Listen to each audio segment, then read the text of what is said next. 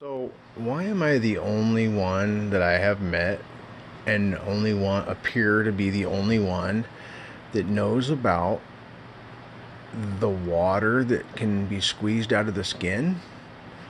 This can't be just my dog. But there's certain areas and I'm wondering I don't know much about the lymphatic system um, in either us or dogs for that matter. That's what I meant. But I can squeeze water from the skin on his cheek. You can kind of feel the.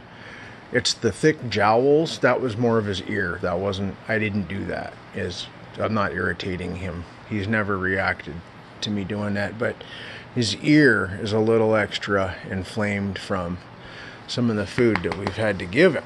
And um, what I mean by had is, well, when the one that works isn't at the store, and then you have to improvise, maybe with something you've never tried, doesn't always go as planned.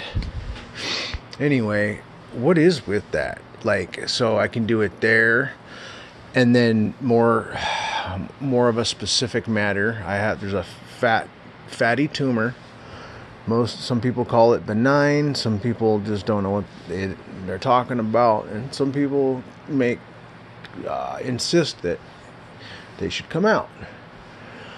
Well they get much bigger than that and don't tend to cause any pain. But anyway um, i can squeeze water out of this but i choose not to because any friction or pressure that i put on it tends to make it inflame like upwards of double that size, like like at least that tall and like like right now it's like that round and it would be like that round and like that tall like just puffy and solid and uh, it's a very strange little cyst thing uh, but um, i don't know if the water see he's he doesn't have direct um, any of that on both cheeks, but I can squeeze water, and I think I've done it in other places too.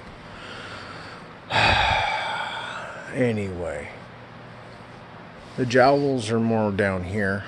He doesn't have saggy cheek cheek jowls. They, it comes down to here. So there's not like it's just extra. You can feel it. You can feel the extra. Uh, you know, like it's probably under the skin and just centers out around here. Probably the weight centers it down here. Pretty weird. I know I took three minutes to do that, but somebody helped me out.